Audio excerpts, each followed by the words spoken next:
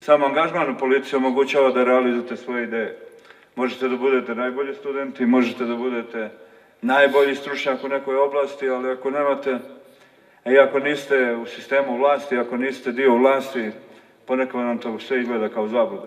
Ovako je pred izbore 2018. godine govorio Milorad Dodik.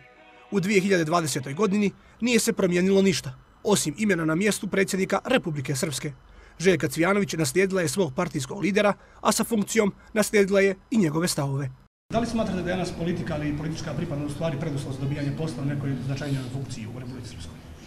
Na značajnijoj funkciju jeste, zato što svugdje u svijetu imate određene političke partije koje osvoje određene mandate na osnovu toga da dakle, provode svoje politike. Da biste provodili svoju politiku, potrebno da imate odgovarajuće kadrove i svoje strukture koje to mogu. Ja tu ne vidim ništa problematično. Dakle, govorim, normalno da ćete, pa gdje imate u svijetu da ministri ne pripadaju ili direktori ili razni pomoćnici da ne pripadaju vladajućoj garnitur, pa nemate skoro nigde. Ta priča oko o ekspertima, ne znam, nijakakvim vladama ne postoji.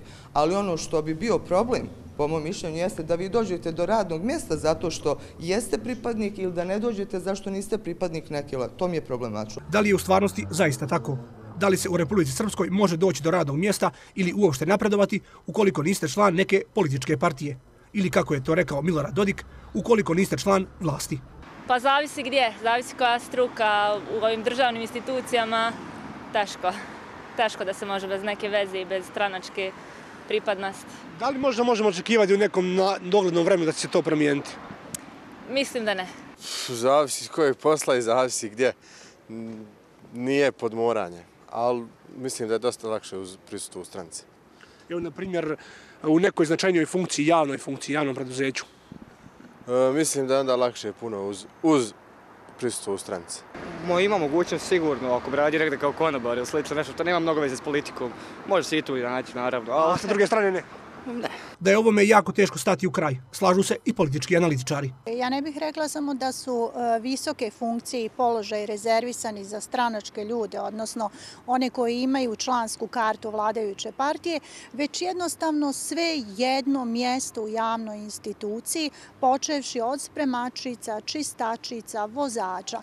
I ako onog trenutka kada su došli do zaposlenja nisu imali člansku kartu, vladajuće partije, oni se tokom vremena obavezuju i moraju postati članovi stranke, inače to im vreba kao neka vrsta opasnosti od gubitka radnog mjesta. Dok se vlast nakon prošlih izbora ne prestaje hvaliti kako Republika Srpska nikada u istoriji nije imala više zaposlenih, stvarnost je takva da i čitave porodice koje nisu spremne za vlast dati ono što se od njih traži, odlaze iz Republike Srpske, nerijetko ostavljajući za sobom pusta ognjišta.